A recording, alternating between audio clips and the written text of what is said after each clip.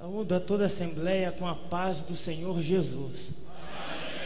Tá gostoso, tá maravilhoso, porque o Senhor está presente, né? Mas à noite desse dia eu queria deixar uma palavra, não vou fazer leitura porque estou sem meu óculos, mas lá no livro do profeta Ezequiel, no capítulo de número 37. A história que a palavra do Senhor vem dizendo, o povo de Israel estava em uma certa turbulência, uma crise espiritual, financeira, social. Eram dias difíceis. E o Senhor vai dar uma experiência ao profeta Ezequiel maravilhosa. As Escrituras Sagradas vêm dizer que o Senhor o levou para o vale de ossos secos em visão.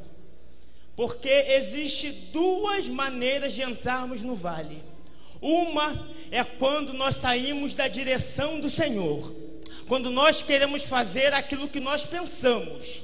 E a segunda maneira é quando nós somos levados pelo Senhor.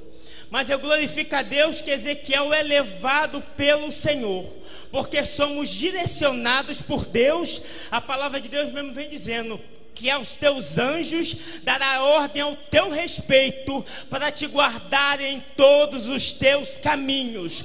Pode ser no vale seco, pode ser na campina alta. Quando estamos guiados pelo Senhor, temos certeza de vitória no final do caminho.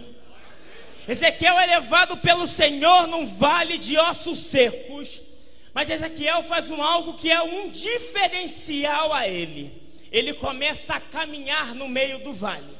Porque quando nós ficamos prostrados, parados, nós podemos fazer parte do cenário que é seco.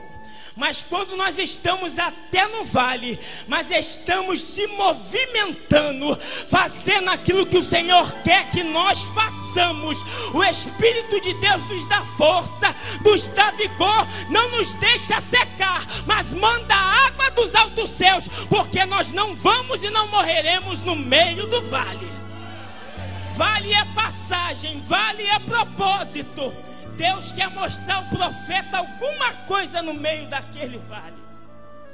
E ele recebe uma ordem do Senhor, que é profetizar no meio do vale de ossos secos.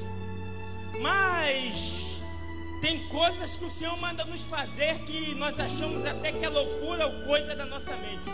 Como que eu vou profetizar aquilo que já está morto?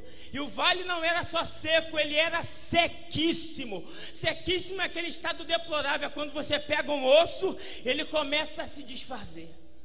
Mas as coisas de Deus não são para serem entendidas, são para serem obedecidas.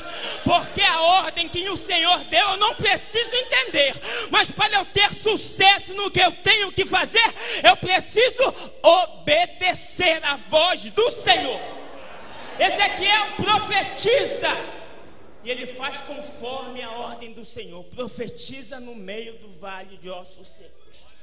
E diz a palavra do Senhor que um osso começa a se juntar com outro osso, porque esse vale simbolizava o povo de Israel e a situação deplorável que eles se encontravam. Mas o interessante é que quando um osso começa a se unir com outro osso, de repente começa a surgir no meio daquele vale um exército poderoso, porque quando estamos unidos, quando estamos interligados num só espírito, num só propósito, no Senhor vê na gente um exército poderoso.